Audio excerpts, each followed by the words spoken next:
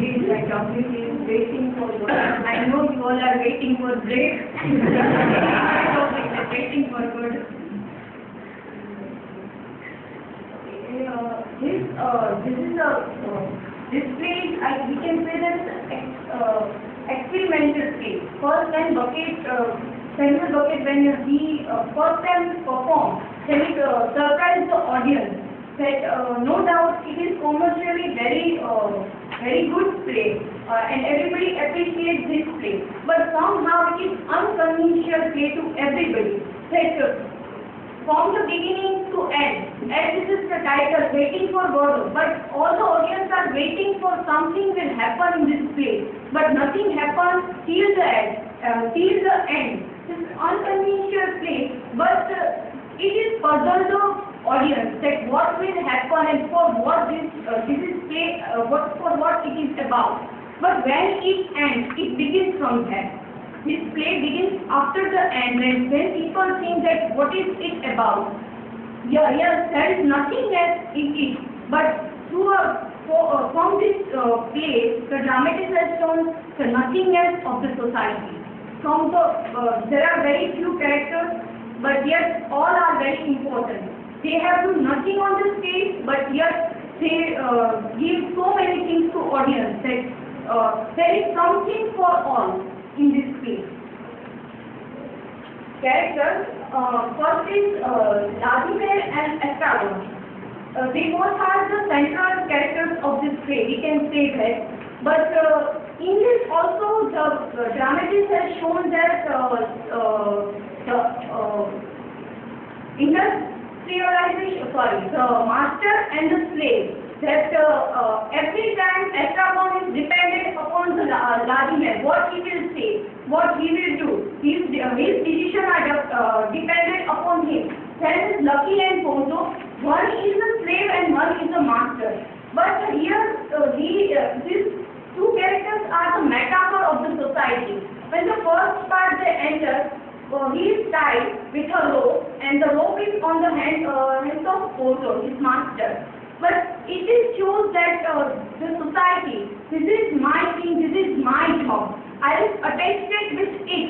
It is my slave, but I, I, I'm also tied with it. The rope is on the neck of the uh, lucky, but uh, the master is also tied with it. So it is a metaphor to the society and the next tag. Uh, one is dumb and one is uh, blind. So at that way he also represented the society in it.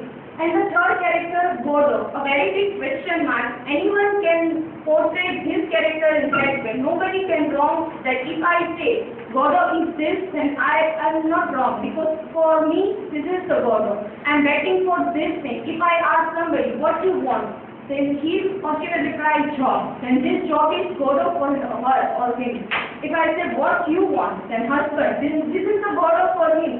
Every time, if I ask what you want, I want break, then this is the Godot for you. Everybody is waiting for something in their life, and this is Godot for them. And to get these things, we are doing something in uh, in this, something, some activities in it. In fact, this is a tragedy, comic tragedy. This play is uh, known as tragedy or a comic tragedy. First, when the play starts, there is some uh, activity uh, done by uh, uh, done by uh, Vladimir and uh, Estragon. This first we can uh, when we see we think that we are seeing uh, some circus borrowed from cir- circus, and then we are uh, which is uh, think that borrowed from musical hall. That way, this is there is nothing there. It is the tragedy of that place. Uh, but it is not a tragedy in a traditional way. We can't we can't apply Aristotle Aristotle's uh, uh, view of uh, tragedy in that in that way, and it is a uh, crucial blend of tragic and comic.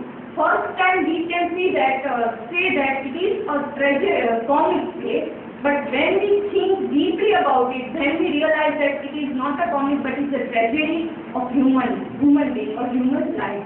Nothing happened in five. This uh, this play is divided into two parts, but nothing happens in twice. That we beginning to end there is nothing, but when it ends, something happens. That way, the problem how to get throughout the life, throughout the play, and through, also we can relate it with our waiting or we are doing something to get settled in life and that there is a waiting for God.